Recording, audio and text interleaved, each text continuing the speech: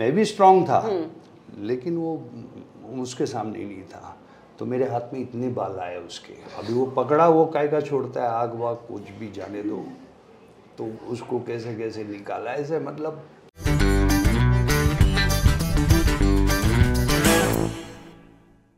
और जो गोरिल्ला की बात है जी। वो टार्जन में भी था। जी। वो मेरे से एक साल छोटा था। लेकिन हाइट पर्सनैलिटी वो मेरे से इतना था। हाँ। और इतने बड़े बड़े एक एक उंगली थे उसके। अब वो साहब ऐसा हुआ कि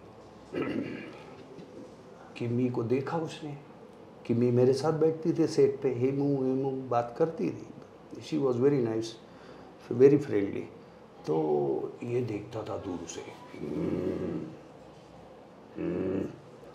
मुझे नहीं मालूम मुझे गुस्से से देख रहा है। अभी किमी की माँ बहुत डर जाती थी हाँ। टीना जी।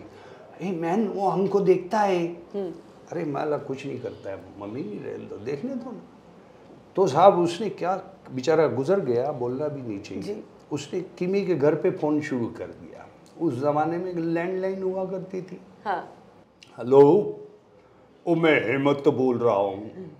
आपका नाम लेके। अरे उनकी माँ बोली ऐसी वो और माँ बेटी बोली ऐसी आवाज़ हेमंत की कैसी होगी? हाँ। वो लोग समझ गए वो है। हाँ। उन्होंने घर को ग्रिल व्रिल लगा लिए कहीं दरवाज़ा तोड़ के हम हमारे घर में ना आ जाए ना ऐसे फिर उसने मुझसे गुस्सा कैसे निकाला? एक मेरी उसकी फाइट थी। जी। जंगल में फाइट है।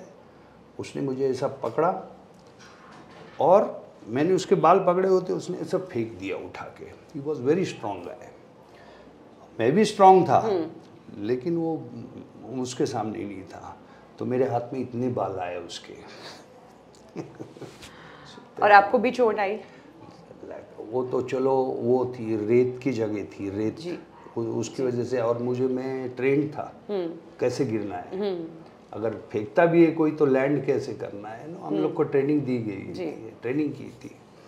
तो चाहे ऐसे किस्से होते हैं बेचारा अच्छा था। बट घूम फिर के गोरिल्ला आपके सामने आ जाता था। जब भी फाइट सीन है हेमंत बिरजे का तो वही लंबी और चौड़े आपके सामने हाँ, लगते थे। वीराना में भी है। हाँ तो और उनकी डेथ बहुत जल्दी हो गई थी आई थिंक 94 95 के आसपास हाँ। काफ़ी और कहते हैं कि बीमारी के दिन में भी उन्होंने काम किया था। हाँ आप थे कांटेक्ट में उनसे? नहीं कांटेक्ट में था लेकिन डेथ के टाइम पे नहीं था। वो बहुत एक एकदम रॉ गाँव का आदमी था। उसको एक सीन था वो किम्मी को रेप करना है। तो सुभाष जी बोले तू पकड़ना किम्मी को रेप करने जाना। हाँ। अब वो बोला सर मैंने कभी लड़की को ज़िंदगी में हाथ नहीं लगाया। बोले कुछ नहीं तू जा पकड़ मैं बोलूँगा आग तो ऊपर देखना ऊपर देखना आग। तो अभी वो पकड़ा वो काय का छोड़ता है आग वाग कुछ भी जाने दो। तो उसको कैसे कैसे निकाला ऐसे मतलब यू नो